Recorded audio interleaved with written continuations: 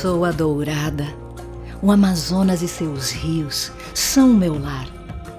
Desde os rios andinos até o grande Amazonas, meu percurso é o maior caminho de água doce do mundo.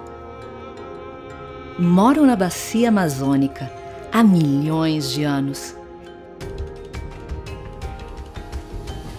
Conheço seus rios e sua gente. Todos interconectados, dependemos da saúde dessas águas.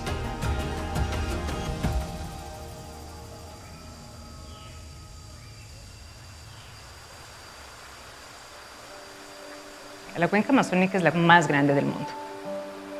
Es un espacio muy grande, biodiverso y muy importante por lo que significamos para el clima del mundo.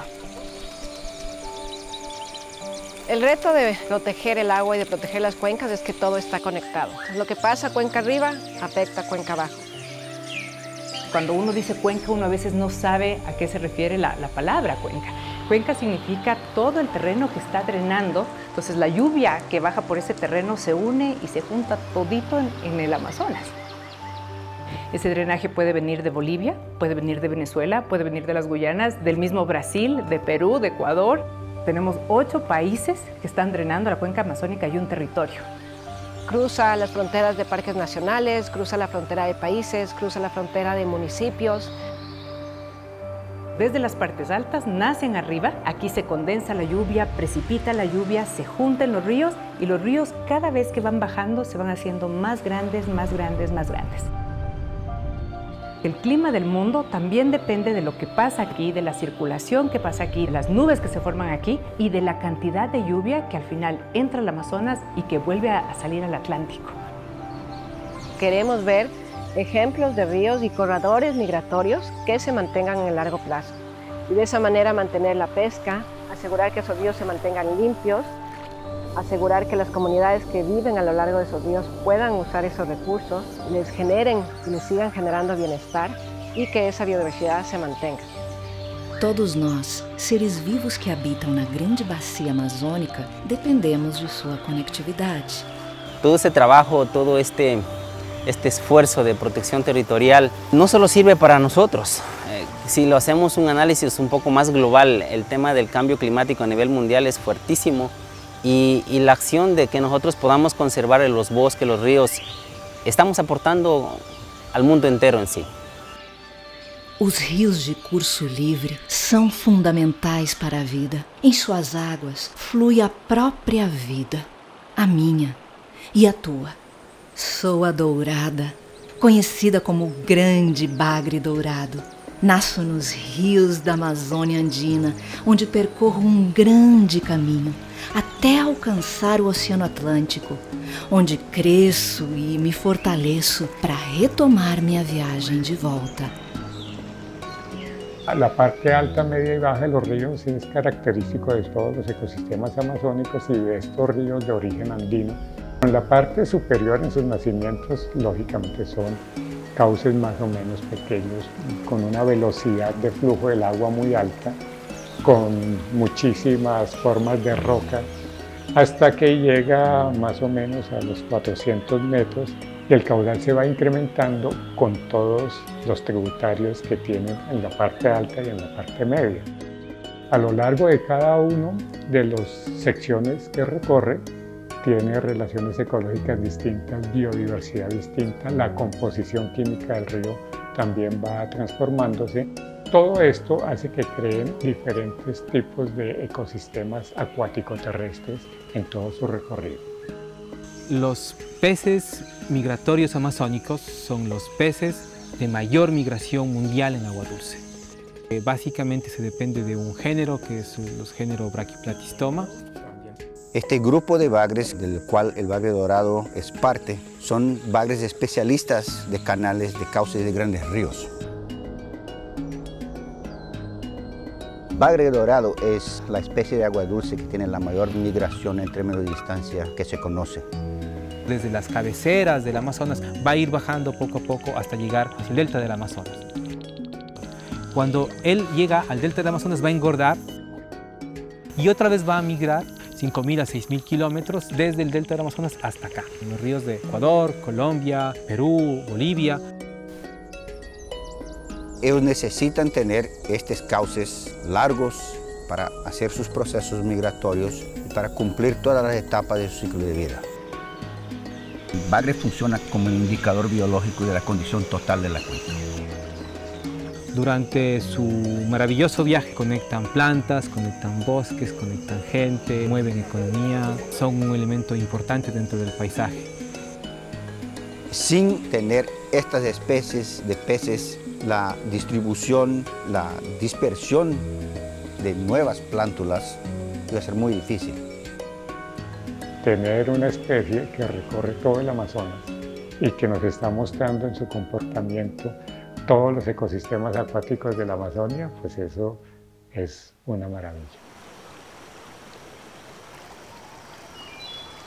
Sou um peixe migratório e na grande jornada da minha vida conecto comunidades e ecossistemas. Sou equilíbrio, sou alimento, sou sustento. Quando o rio está forte, no rio Amazonas, ele está com muita água, ele empurra o mar para fora. Então, toda aquela região onde tem uma alta produção biológica, isso é empurrado para fora e cria uma zona de água doce com muitos alimentos, com muita produção biológica. E a piramutabe e a dourada vão comer ali naquela região. E é onde temos a maior pesca de bagres na Amazônia. Aqui na região do Tapajós, no caso, a pesca da dourada é essa época aqui, de mês de, de abril né, até agosto. Ela tem algumas portarias, né, que são instruções normativas que protegem né, as espécies. Né? Por exemplo, tem algumas comunidades nossas que têm um acordo de pesca, que o pescador só pode pescar para sua alimentação, por um certo período. Né? Ele ajuda a proteger as espécies. Né? Então o rio ele é, é como essas coisas, é, é, é, a proteção de tudo, né? é a vida para nós pescadores principalmente. Sou parte do rio e sofro com suas transformações, sua contaminação e suas ameaças. A conectividade dos rios está se perdendo rapidamente por várias razões. Los ríos han, han tenido un impacto profundo en términos de biodiversidad, o sea, han tenido un impacto de diferentes tipos de, de actividades como la minería, el petróleo, la contaminación que ha afectado a las poblaciones locales de peces. Con el extractivismo, con la minería ilegal, pues nos dañan nuestro territorio, nos dañan este hermoso río. En la Amazonía mismo, un problema grave sí son la ruptura de la conectividad que tienen. ¿Cómo rompemos esta conectividad? Con justamente la construcción de procesos, de, proyectos hidroeléctricos. Y tenemos en toda la Amazonía un montón de proyectos eh, hidroeléctricos, algunos ya hechos, que tienen verdaderos problemas, y otros nuevos que están por construirse.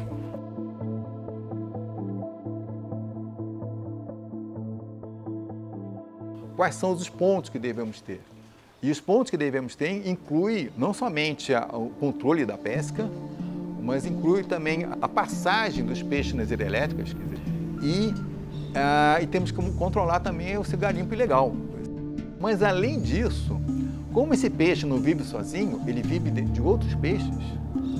Ah, outros outros peixes que vivem na floresta alagada, que dependem da floresta alagada, quando eles saem da floresta alagada, eles vão para o canal do rio e aí a dourada vem comer eles, esses outros peixes também têm que ser protegidos. Eles também têm que manter o ciclo deles. E eles dependem da floresta. Não pode pensar só num pedaço, mas tem que pensar no sistema como um todo. Si hay problemas de contaminación, si hay problemas de deforestación, evidentemente puede alterarse el cambio migratorio del pez. Homens, mulheres e crianças que vivem nas ribeiras dos rios amazônicos se dedicam à pesca. De mim dependem milhões de pessoas que vivem ao longo da bacia amazônica. É do rio que as comunidades, centenas de comunidades vivem, né? É do rio que eles tiram a sua principal fonte de proteína, a sua principal fonte de alimento, a sua principal fonte de renda através do pescado. O rio para mim é, um, é, vida, né? É, é, um, é nossa mãe. O rio é nossa mãe, porque é onde a gente, a gente tem um, um, um lugar onde a gente pode aproveitar o dia, estar tá lá, pescar, tirar um alimento para nossos filhos. Agora a gente vai jantar. Jantar, bora. Vai. Então a mulher ela tem uma participação forte, que precisa ser é, incentivada, que precisa ser fortalecida na comunidade para que elas possam não somente reconhecer o seu potencial de, de transformar, né, mas também para elas terem mais autonomia, para elas terem mais amparo das políticas públicas. Elas estão presentes nas reuniões, elas estão presentes na, na, na, comunidade, desenvolvendo suas atividades, elas estão presentes no rio, fazendo as suas atividades de pesca, comercializando pescado. Eu vejo as mulheres como um forte potencial nas comunidades. Mi sueño es que todas las mujeres podamos alzar nuestras voces de la comunidad COFAN todas las mujeres tengamos ese sueño y esa libertad de poder decidir, de poder eh, enfrentarnos y decirle al mundo que nosotros como mujeres estamos aquí para luchar por este territorio, dejar un legado a nuestros hijos.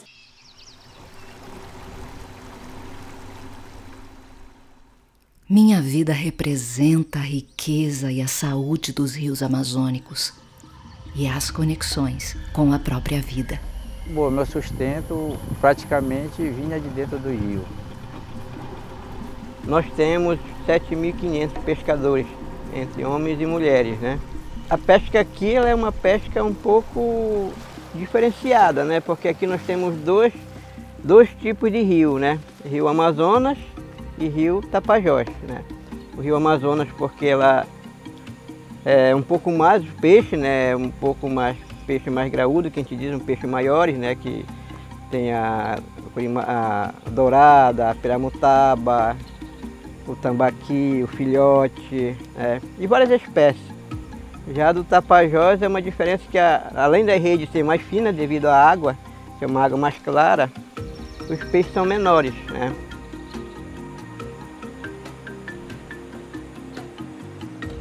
Eu, como pescador, eu penso que a conservação do rio é a nossa principal forma de pescado, é a gente conservar sempre o rio para que de tempo o pescado é o saudável. Nós pescamos de espinhel, de rio, que chama de tiradeira no meio do rio, que é uma pescaria, eu acho que nós fomos pioneiros daqui da região do Ituqui. E tem a pesca de bubuia, que te chamam, né, que é a captura dourada de malhadeira no, no rio. E nós temos também a de, de, de anzol, de linha comprida, né, que a gente puxa. Na parte de lago a gente usa a parte de caniço, tarrafa, né, flecha, que a pesca artesanal não, não, não, não se acabe, não se deixe também se elevar pelos grandes projetos, porque isso vai trazer um custo muito alto para futuras gerações. Filhos de pescadores, moradores de área ribeirinha, milhares de famílias que dependem do, do pescado.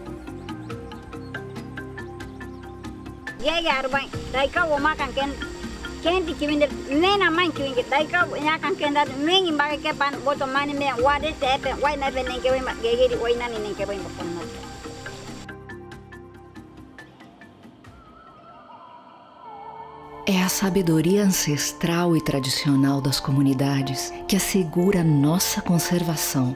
São as pessoas dessas comunidades que trazem harmonia. Eu gosto de chamá-los de guardiões do rio.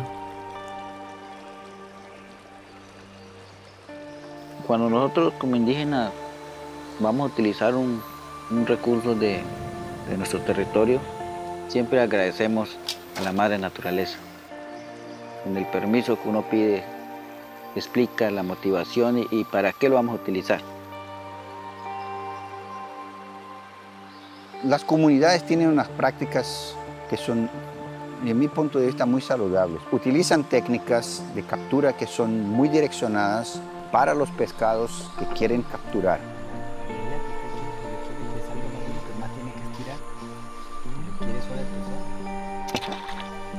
Y solamente ir a como coger con el guache con anzuelo que vamos a utilizar, que vamos a consumir con la familia.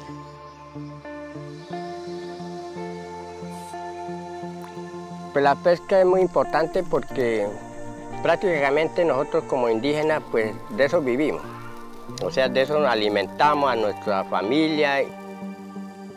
Por eso nosotros cuidamos mucho lo que es la laguna.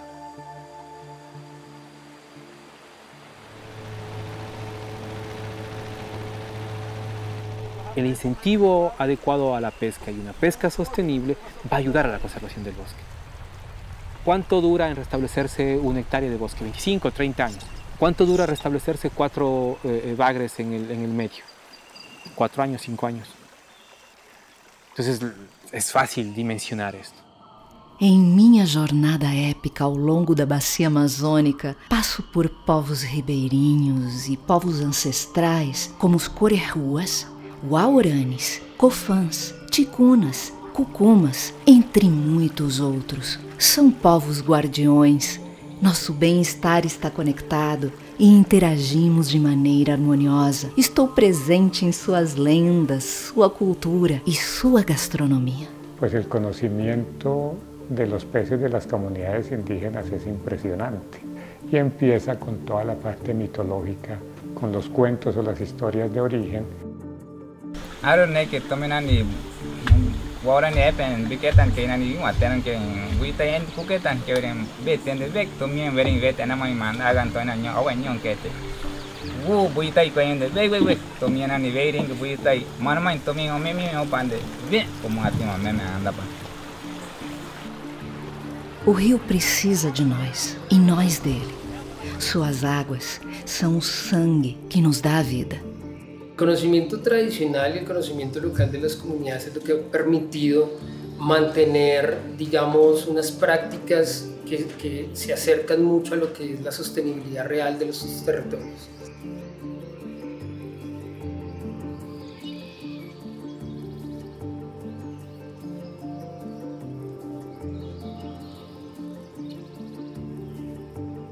Se a gente quer água gente que, que a gente quer beber, a gente tira do rio, né? Então, para tomar banho é água do rio, então quando não coleta da chuva, que tem a chuva, né? Então, é ao rio. Então, é, o rio é a principal coisa. Então, se a gente não toma, toma, cuidar daquilo que a gente preserva, se a, nós que somos usuários dele, se a gente não cuidar, então quem vai cuidar, né? Quem tem que tomar a iniciativa de preservar é nós que usamos, é nós que que estamos vendo diariamente que é nós temos uma riqueza na nossa frente e a gente não sabe, né?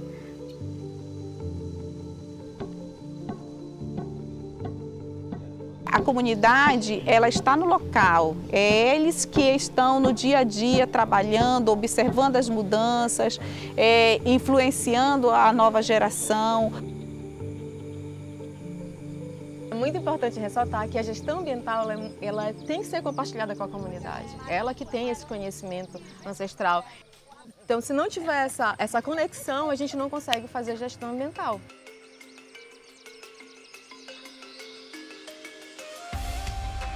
A comunidade é que nos diz onde é que estão os principais é, problemas, os principais gargalos, os principais conflitos e a partir daí o órgão, com essa interlocução, junto com é, a lei e, e, a, e, os representantes sociais, fazem com que esses recursos sejam melhor é, utilizados. Por eu ter tanto carinho e, e amor por esse lugar, que hoje eu luto é, para a conservação e preservação do local, porque porque as minhas sementes estão aí, meus filhos, meus netos.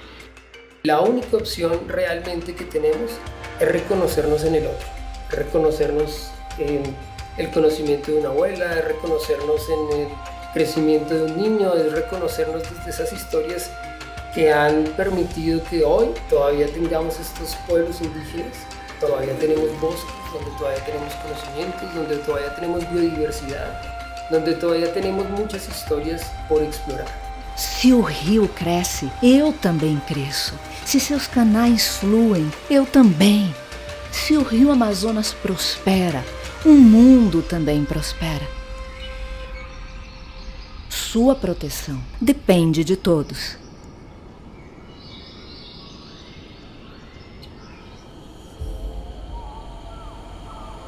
Pode-se fazer pesca sustentável desde que tenha boa gestão. Tudo está conectado, né? Você chega aqui e os animais que aqui é, uma, é um estuário tem essa conectividade com o resto do planeta. Então essa conectividade né, ela, ela é indiscutível. La única manera de proteger esa biodiversidad es si logramos esa colaboración entre países. Somos una comunidad pequeña, sí, pero con mucha fuerza, con mucha unión de seguir y de proteger nuestro territorio. Siempre nosotros buscamos eh, para la nueva generación, de que queden árboles maderables, medicina, pesca. Hagamos un poquito más de esfuerzo y, y tratemos de, de, de, preservar lo que es la fauna para que nuestros hijos después tengan que ver en estos ríos, tengan que ver en, la, en lo que es la montaña. Los ríos son más que un canal donde pasa el agua, los ríos están vivos, integran, conectan. Cuidar dos rios Cuidar dos peixes é cuidar das pessoas. Todavía temos tempo para actuar. Vamos amar o rio, vamos zelar, vamos cuidar, porque sem ele nós não somos nada. Os rios são extremamente resilientes. Se uno le dá a oportunidade, o rio vuelve. Somos a Amazônia. Sou a dourada e conecto a vida da bacia amazônica.